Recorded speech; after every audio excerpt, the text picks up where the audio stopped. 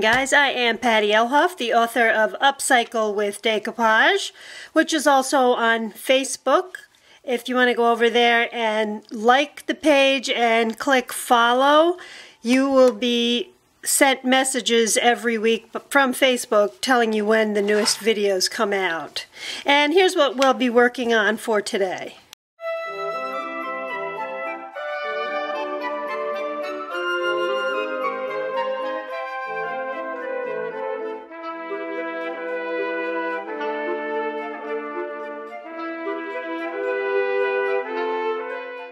I took this glass honey jar and mulberry paper and these images from a site called Blackberry Designs. I'll put the link below for a video on how to remove the label from these jars. And I wanted to cut out uh, an oval type shape for this image. So I just used this bottle and I placed it on top of the image. Several of these images come on this sheet from Blackberry Designs. So I cut this out.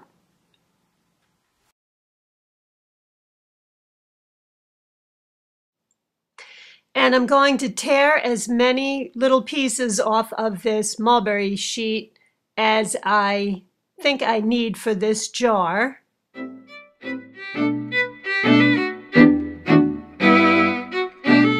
And what I would like to do is center the image onto the bottle and then I'm going to frame it with the paper. I'll do the same thing this on the paper backside. is very thin. It's it's uh, similar to a tissue paper. It's more firm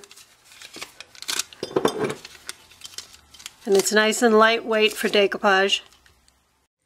So you'd put the decoupage glue down. You want to go a little lighter than that. Place your image down and you want to make sure with this type of tissue paper that you're pressing out any air bubbles or wrinkles. It's different than a napkin. And then you want to apply decoupage glue.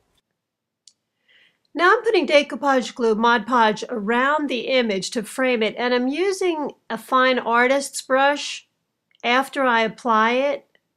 I use the fine artist brush and I dip it in water because it helps the tissue paper, this mulberry paper, it helps it to sink in to any ridges or grooves on the bottle. So I'm going to go around this whole bottle and do the same thing on the back. Just keep applying the tissue paper, the mulberry paper, I'm sorry, all around the front and the back.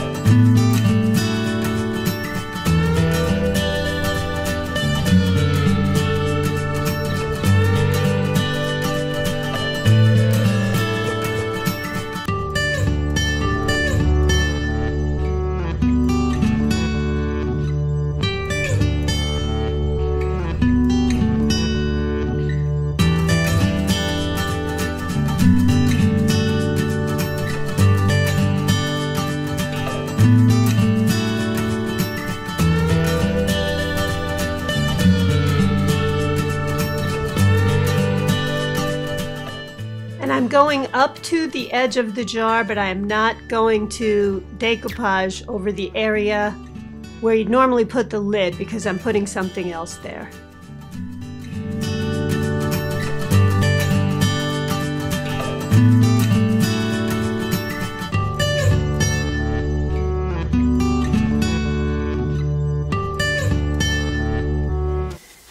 And when you're all done, just go around the piece and make sure you've covered everything. And once you're satisfied with that I'm going to sit this upside down in front of the heat vent to dry.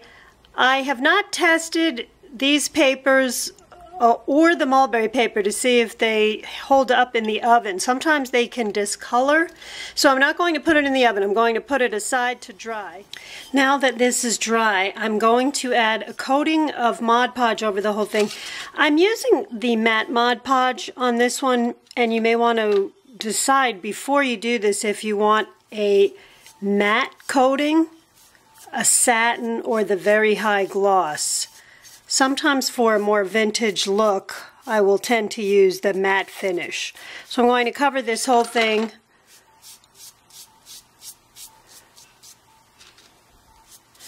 and put it aside to dry. Now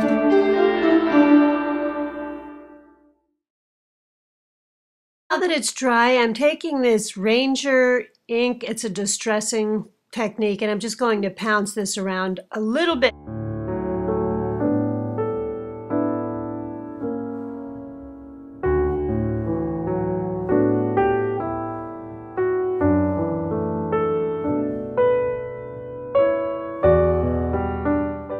Now that that's dry, I'm going to add some craft glue. They also make glitter glue.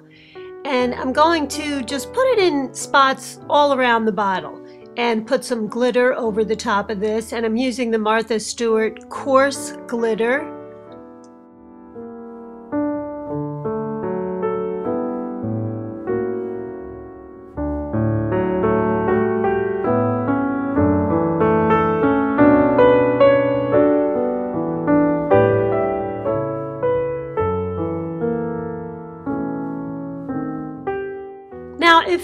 Like, you can also paint the lid. I used the Martha Stewart multi-surface paint and glittered it in case I wanted to use the lid, but I did not.